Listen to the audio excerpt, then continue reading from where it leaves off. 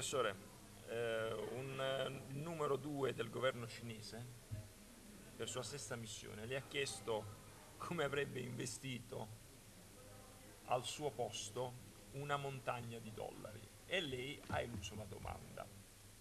Ma eh, non è che con questi dollari si stanno comprando le, il continente africano, questo è, è il dubbio che i cinesi stiano comprando questo. Sì, eh, questo eh, infatti quando i cinesi dicevano eh, stiamo accumulando una montagna di dollari eh, inutili, eh, eh, non sono inutili perché possono utilizzarli per acquisire imprese, terreni, miniere e infatti quello che hanno fatto, tanto che molte nazioni dell'Africa, principalmente il Sudafrica e Nigeria, si sentono che stanno diventando vassalli, stanno diventando oggetto di imperialismo, imperialismo cinese. Un esempio, i cinesi controllano tutto il settore tessile del Sudafrica e della Nigeria, quindi tutte le quote di esportazioni dei, di quei paesi vanno in mano ai cinesi. I cinesi, quindi quei dollari sono sono utilizzati molto bene dal punto di vista cinese, che però co comporta un controllo dell'economia de dei paesi eh, che ricevono questi investimenti, queste compere. Ora le faccio una domanda più politica che, anzi oserei dire più di strategia militare.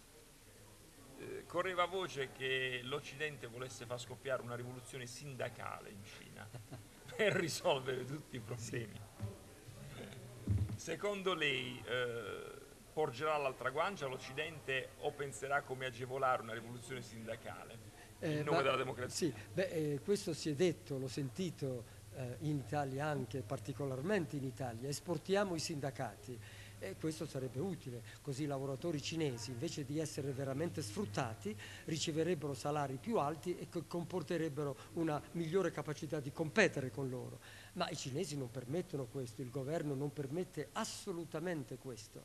Quindi noi spesso si pensa che la Cina sia un paese aperto, è vero, punto, dal punto di vista economico dell'impresa eccetera è del tutto aperto, ma il governo cinese controlla, controlla in modo rigidissimo Adesso, quindi non è che permetteranno questa, questa, queste sono battute che se potessero essere mette, messe in atto sarebbero utili. Il governo cinese oggi non permetterà. L'unica speranza è che fra dieci anni, una generazione, è che i, i genera- perché guardiamoci bene, il primo ministro cinese non comanda assolutamente nulla lui è solo, solo, the frontman, sarebbe quello che gira, ha, bo- non ha nulla, non decide nulla, nemmeno una virgola.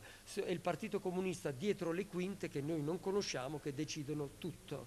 Quindi finché ci sono i vecchi generali, alcuni dei quali ho conosciuto, eh, non, non si farà nulla. Cosa succederà?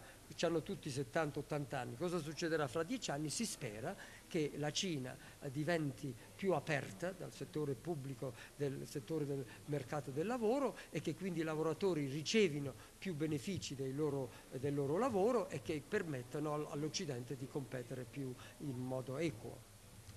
Mm, corre voce che ci siano solo 5 o 6 famiglie ad avere in mano tutta l'economia cinese. È una favola?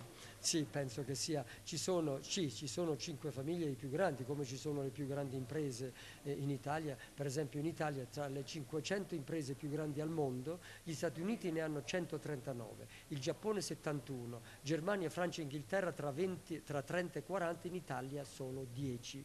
Quindi adesso queste 10 quali sono? Fiat, eh? ma non sono che controllano l'economia anche in Cina c'è questa concentrazione economica, ci sono cinque famiglie, ma dietro di loro ci saranno centinaia di altre famiglie meno ricche che però tutte insieme eh, tecnicamente comandano più di quelle cinque, tutte insieme se, se si mettessero insieme.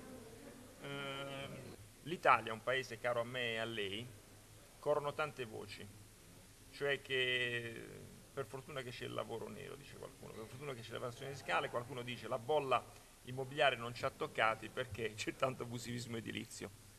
Sì, eh, l'Italia in un certo modo ha sostenuto la crisi anche meglio delle altre nazioni, eh, c'è stata la recessione un po' più profonda della media europea, anche se la Germania il PIL è sceso quasi tanto quanto quello italiano, le banche hanno retto, però il problema dell'Italia non è tanto la crisi, è che ci sono problemi strutturali di fondo che non hanno permesso all'Italia nell'ultimo decennio di crescere tanto quanto le altre grandi nazioni europee, la crisi è stata più profonda e la crescita che c'è, che la ripresa è inferiore alle altre grandi nazioni.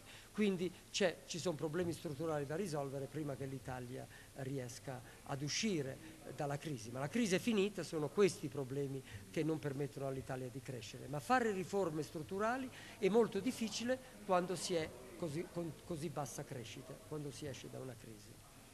E la Russia, secondo lei, questa ondata di, diciamo, di capitali russi che stanno invadendo il vecchio continente? Beh, la Russia, ripeto, se la Russia cresce 4-5% all'anno principalmente per le esportazioni di materie prime, la Russia non ha ristrutturato la propria economia tanto quanto quella degli altri paesi del centro Europa, vive su quello. E una delle ragioni ci sono tanti grossi, eh, eh, grandi imprese ricchi che investono fuori dalla Russia dove sono meno controllati che in Russia. Ecco, e quindi è utile per gli altri, ma... Eh, eh, ecco, la Russia si trova, non sta facendo le cose che dovrebbero fare per la crescita futura rapida. Professore, io la ringrazio. Grazie a lei.